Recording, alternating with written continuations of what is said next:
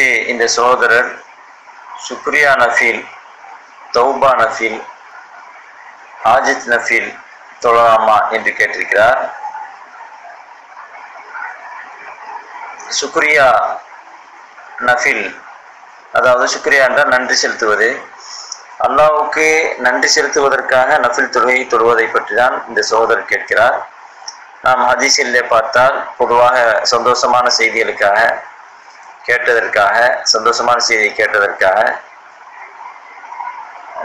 சுக்குரு சுக்குருக்காக நன்றி செலுத்துவதற்காக தொழுததாக நபிசலாசனம் ஒரு தொழுகையை தொழுததாக நாம் காண முடியவில்லை. ஆனால் அதே நேரத்தில் ஒரு சந்தோஷமான செய்தி வரும்பொழுது சஜிதா வெறும் சஜிதா செய்து நன்றி செலுத்துகிற அந்த முறை இருக்கிறது. அது செ- அந்த வெறும் சஜிதாவை செய்து கொள்ளலாம். அதுபோல தௌபா நஃபீல் ஹாஜத் நஃபீல் தொழலாமா என்று கேள்வி கேட்டிருக்கிறார். தௌபாவுக்காக தொழக்கூடிய தொழுகை தௌபா நஃபில் என்று இந்த சோதரர் கேள்வி கேட்டிருக்கிறார்.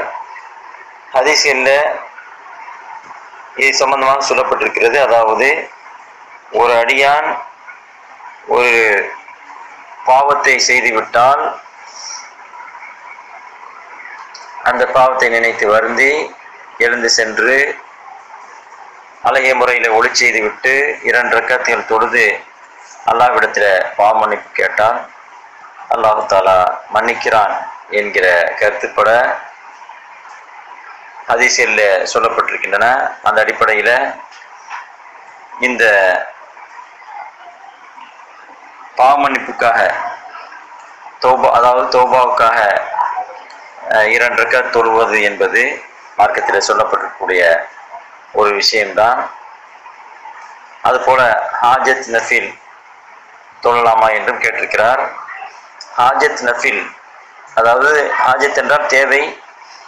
தேவையை நம்முடைய முக்கிய தேவையை அல்லாவிடத்தில் முறையிடுவதற்காக அஹ், ரெண்டு ரக்காத் தொழுது அல்லாவிடத்தில் முறையிடுவது என்ற ஒரு முறை இருக்கிறதா என்று பார்த்தால் ஹதீஸில் அப்படி ஒரு செய்தி இருக்கிறது.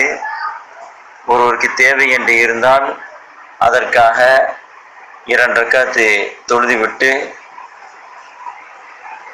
அந்த தொழுகைக்கு பின்னால் குறிப்பிட்ட ஒரு துவாவை ஓத வேண்டும் என்று ஒரு ஹதீஸில் சொல்லப்பட்டிருக்கிறது.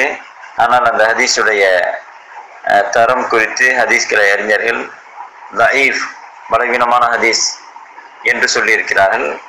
ஆக ஹாஜத் நஃபில் அதாவது நம்முடைய தேவை தேவையை நிறைவேற்றி தர வேண்டும் என்று கேட்டு அதற்காக ரெண்டு தொழுவது என்பது தொழுகை ப- அப்படிப்பட்ட தொழுகை பற்றி கூறப்படுகிற அறிவிப்பு ஆதாரபூர்வமானதல்ல. ஆனாலும் கூட ஒருவருக்கு ஏதேனும் முக்கிய தேவை என்று சொன்னால் ஒரு விஷயம் சிக்கலாக இருக்கிறது ஒரு பி- ஒரு பிரச்சனை ஏற்பட்டிருக்கிறது. அதிலிருந்து விடுபட வேண்டும் என்று சொன்னால் அதற்காக தொழுவது அதாவது அல்லாவுக்காக தொழு தொழுவது ஒரு நபிசல்லாசனமுடைய வழிகாட்டுதலாக இருக்கிறது. அப்படி தொழுதுவிட்டு தேவைகளை கேட்கலாம். நபிசல்லாசனம் அவருக்கு ஏதேனும் ஒரு காரியம் நெருக்கடிக்கு உள்ளாக்கும் என்று சொன்னால் உடனே துலகிக்கு விளைவார் விரைவார்கள் என்று ஹதீசியில் சொல்லப்பட்டிருக்கிறது. அந்த அடிப்படையில் நமக்கு முக்கியமான தேவை இருக்கிறது என்று சொன்னால் அது நிறைவேற வேண்டும்.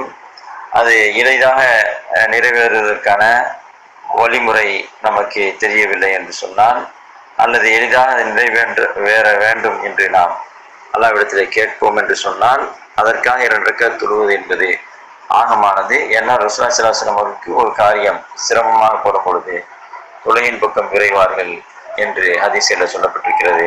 அந்த அடிப்படையில் ஹாஜத் நஃபில் என்று ஒரு தொழுகை இல்லாவிட்டாலும் கூட ஒரு ஹாஜத் ஒரு முக்கிய தேவை இருக்கிறது.